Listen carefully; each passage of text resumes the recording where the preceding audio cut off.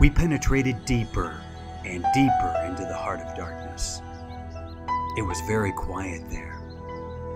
At night, sometimes the roll of drums behind the curtain of trees would run up the river and remain sustained faintly, as if hovering in the air high above our heads, till the first break of day. They told me totally insane.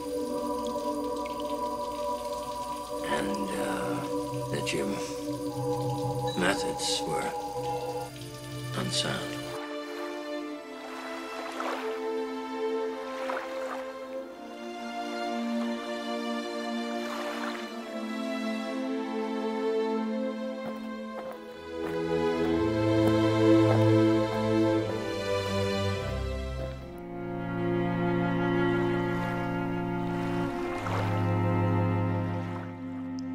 We were wanderers on a prehistoric Earth, on an Earth that wore the aspect of an unknown planet.